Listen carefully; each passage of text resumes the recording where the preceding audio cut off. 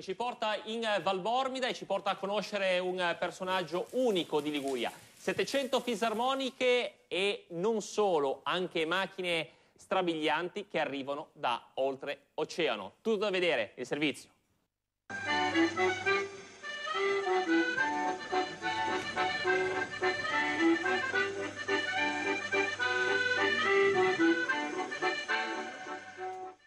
siamo arrivati a 700 fisarmoniche, non una uguale all'altra. Eh.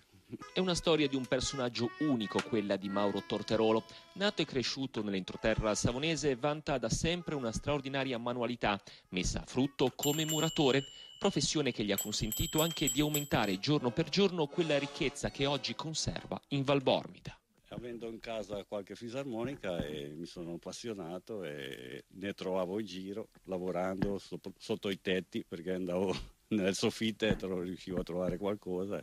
Ogni tanto le cambiavo col lavoro ogni tanto le compravo. Tuttora Mauro Torterolo vanta 700 fisarmoniche. Racconta che non ha mai imparato a suonare in modo professionale e non ha esitazioni a rispondere alla domanda sul pezzo più unico tutte dice delle fisarmoniche non esiste un vero e proprio mercato.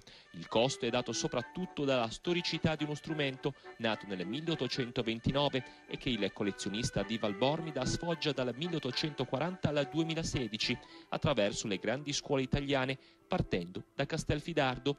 Infine le curiosità che espone, tra queste anche le fisarmoniche dei Trilli o di Dino Crocco.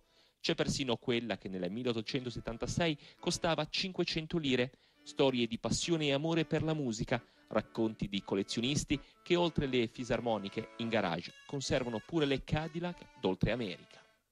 Avevo sempre l'idea, da piccolo mi è sempre piaciute queste macchine, quando sono riuscito a averne una e poi non mi sono fermato, ho cominciato con un'altra e adesso spero di fermarmi perché divento vecchio anch'io e non ce la faccio più.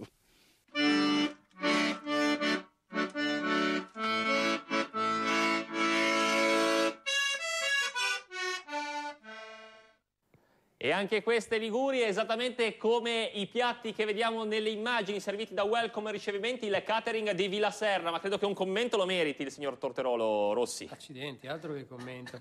Ci vuole una costanza e comunque c'è un patrimonio straordinario lì dentro, almeno io eh, credo che sia veramente qualcosa forse di unico. Non so se quanti a Castelfidardo, che è la patria delle, delle fisarmoniche, abbiano un patrimonio di quel genere lì e poi così esteso anche temporalmente. Cercheremo di seguire la vicenda e di capire se in Valbormida ci siano gli spazi o meno per un vero e proprio museo, perché di fatto oggi non c'è, ma eh, davvero sarebbe un, eh, qualcosa di doveroso per un patrimonio di questa portata.